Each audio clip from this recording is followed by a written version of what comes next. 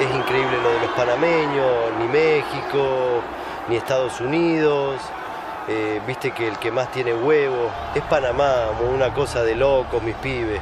Hola mis panas, sean bienvenidos a Gol México, aquí apoyando a todos los equipos centroamericanos.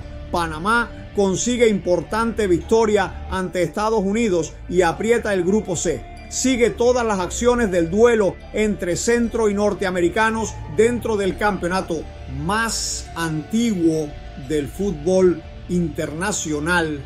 En un partido que tuvo de todo, la selección de Panamá logró un agónico triunfo por 2-1 ante Estados Unidos en la segunda fecha del Grupo C de la Copa América 2024. Con goles de César Blackman y José Fajardo, los canaleros suman tres puntos que los mantiene con grandes chances de clasificar a cuartos de final. El partido se jugó este jueves 27 de junio en el Mercedes-Benz Stadium, que se ubica en la ciudad de Atlanta, Georgia. Escuchemos cómo la prensa de Costa Rica llena de aplausos y elogios a los panameños. Vamos a ponernos de pie y vamos a aplaudir a la selección de Panamá que hoy le ha ganado a uno de los países anfitriones de esta Copa América. Le volteó el partido a Estados Unidos, mostró primero una imagen competitiva ante Uruguay que fue su primer rival de esta Copa América. Después, hoy día, volteó un encuentro. Es más, es cierto, tenía uno más, pero ahí las cosas se emparejaron, 10-10 se enfrentaron en el campo y Panamá pudo hacer lo suyo. ¿Saben qué es lo más lindo esto?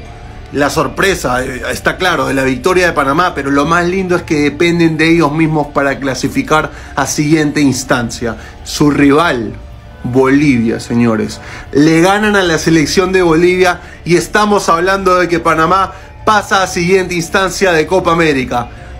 Las sorpresas que te puedo dar este certamen, las sorpresas que te puedo dar Panamá, increíble. A pesar de quedar con 10 hombres, Estados Unidos se adelantó en el minuto 22 con un cañonazo de Folarín Balogun, segundo de su cuenta en lo que va del torneo, que entró tras impactar al segundo palo de Orlando Mosquera. La reacción de Panamá llegó a través de César Blackman en el 26 con un disparo ajustado al palo derecho de Matt Turner desde fuera del área.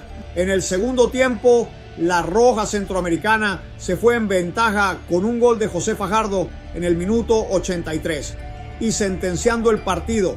Bueno, mis panas, recuerden a suscribirse. Te estamos informando todos los días todo sobre CONCACAF, aquí en Gol México.